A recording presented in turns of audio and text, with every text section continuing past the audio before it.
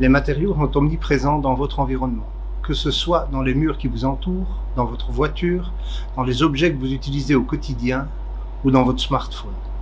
Et les matériaux de votre vie future ont déjà vu ou verront le jour prochainement dans les laboratoires de recherche comme ceux de l'UMOS. En fonction de leur utilisation, ces matériaux doivent résister à des sollicitations nombreuses pour durer dans l'environnement complexe qui les entoure.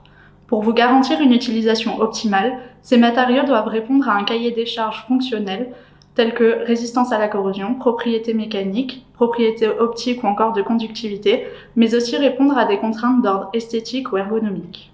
Pour élaborer ces matériaux, il est essentiel de les comprendre de la conception jusqu'au recyclage et d'étudier l'ensemble de leurs propriétés. Alors on peut travailler sur une grande diversité de matériaux, ça peut être des matériaux métalliques, polymères ou céramiques. Donc l'optique ici, c'est la conception globale et la multidisciplinarité que nous appliquons au sein euh, de l'Institut des matériaux.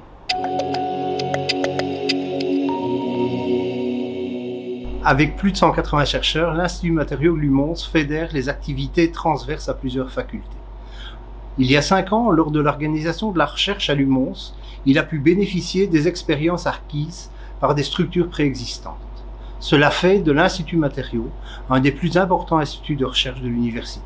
Le travail des chercheurs au sein de l'Institut des matériaux est de développer ou d'améliorer les propriétés des matériaux. Ça peut passer par différentes voies, ça peut passer par la voie théorique via des modélisations ou encore par des voies expérimentales. Et l'ensemble de ce travail sera réparti euh, sur les chimistes, les physiciens ou encore les ingénieurs qui travaillent au sein de l'Institut. L'objectif de l'Institut est de répondre aux besoins de la société dans de nombreux domaines tels que l'énergie, les transports, la santé et bien d'autres. Pour satisfaire ces besoins grandissants, l'Institut a développé ses connaissances dans de nombreux domaines tels que les capteurs, les traitements de surface, les polymères ou encore la corrosion.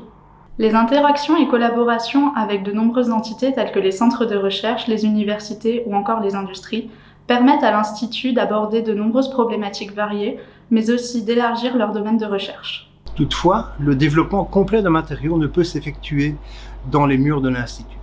Nos activités sont concentrées sur ce qu'on appelle les niveaux de développement ou encore TRL 1 à 4 sur une échelle de 9. Au-delà, pour passer dans les étapes ultimes du développement, c'est une collaboration forte que l'Institut Matériaux entretient avec les centres d'innovation de l'UMONS, les UMONS Innovation Centers, tels que Materia Nova.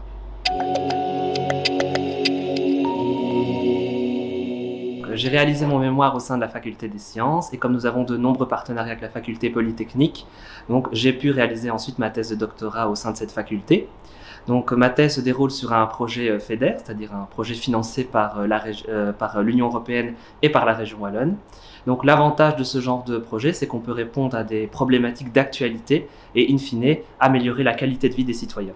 Ce projet euh, regroupe plusieurs partenaires, que ce soit des partenaires universitaires ou des partenaires de centres de recherche. Et donc j'ai eu la chance de travailler avec le centre de recherche Materenova, qui possède de nombreuses technologies d'analyse de pointe, qui sont évidemment complémentaires à celles qui sont présentes au sein de l'Institut.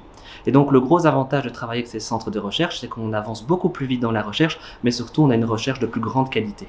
J'étais étudiante à Toulouse lorsque j'ai eu mon premier contact avec l'Institut Matériaux par le biais d'un stage qui m'a ouvert les portes, un an plus tard, d'une thèse en co-tutelle avec l'Université de La Rochelle en France. Cette collaboration m'a permis d'étudier deux types de matériaux différents en fonction des domaines d'expertise des deux institutions respectives. Cette collaboration m'a aussi permis d'élargir mon réseau grâce à des rencontres avec des chercheurs qualifiés et reconnus.